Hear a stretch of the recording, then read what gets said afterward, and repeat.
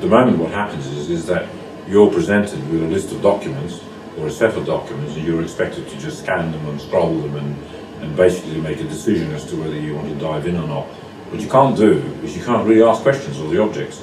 Right? So my instinct is, is that over time there will be developments that as you move around the information space, whatever technique you use, uh, you will interact with an object or a set of objects and the interaction will tell you uh, whether you really want to dive into those objects and explore the objects themselves in, in, in greater depth.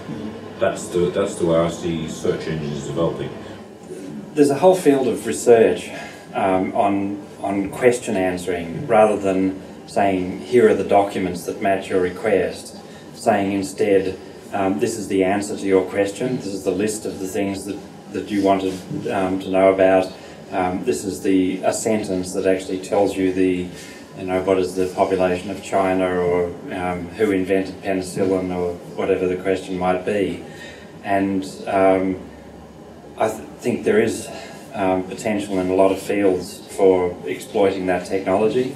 Um, this is one of the, the first applications of natural language processing where, in combination with information retrieval technology, we're um, we're actually seeing substantial benefit. It's actually um, the natural language processing techniques add definite value um, to the, the basic search algorithms. In Korea, mm -hmm. uh, we have uh, two kind of uh, uh the search engine. Mm -hmm. One of them is those uh, uh, Westerns coming from the Western civilization, like a Google, mm -hmm. which is very much those texture of those search. And uh, those uh, Korean those search engine is very different. Mm -hmm. It's more sort of a you search the knowledge, mm -hmm. and uh, so the, what happened is uh, uh, Google is not doing well mm -hmm. in Korea because you have to do the, a lot of those search in order to find out what you want. But the Korean search engine is, is very much those uh, you may call this user friendly. Uh, you sort of search at the level of those uh, knowledge. And I guess the same thing would happen to the, uh, patent area. One of the major issues is uh, uh, to break down any uh, kind of monopolistic position in that domain because access to the information is too critical, either for you know, professionals and also for the general public. One of the major effects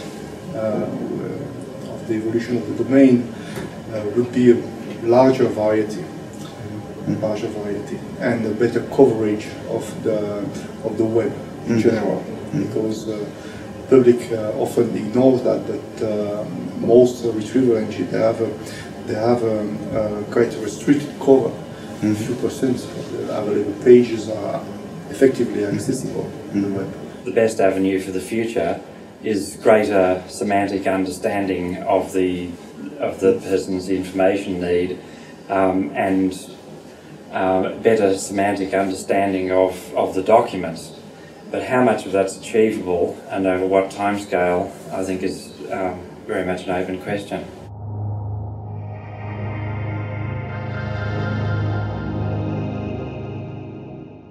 If you learn how to learn, then you can learn any amount of new information that comes along. Especially in areas such as uh, intellectual property rights or in areas such as technology which is very fast moving, it's extremely important for you to understand how to learn to learn so that as technology evolves, you're able to keep pace with the new technology. Uh, if you don't know how to learn to learn, then you will become a piece of furniture. If you read the literature on uh, how children are uh, learning certain things, they learn things through gaming. So although many adults, including myself actually, have a tendency to uh, despise uh, games, you know, on, on, the, on, the, computer, there is no doubt that certain certain things are learnt much more quickly through being able to play games, right? That, that involve, if you like, you know, uh, learning a particular process, right? Simulations. So, simulations. So another way way of talking about what I'm, what I'm thinking about is, is, is, to, to, to set up your interaction with, with the document as a sort of a game. Mm-hmm. Yeah, that's right. It will very strongly affect the way people learn. Yeah. the Wikipedia, for example, I mean, in my opinion, that's far better than Encyclopedia Britannica ever was because it's, it's constantly being updated. It includes far a broader range of, uh, of inclusion material. It's searchable, um, it's hyperlinked. Um, there are just so many ways in which the, um, the online free resource is better than the, um, the authoritative book um, constructed by experts. this uh, statement from the PhD student. They say, "Okay, I don't, I don't need, need to, I don't need to go to the library because everything is on Google." Okay, which is completely wrong. Uh, they tend to favor, for example, the easy access uh, to the truth. no matter how good the tools are, in the end, you have to make your own mind up. And perhaps that's another lesson for education of the future is that the skills that we can teach people about being critical and having their own point of view and making their mind up based on lots of different evidence and so on become more and more important. So the quality assurance, uh, knowing which source to you know trust and which source not to trust, will become part of learning to learn.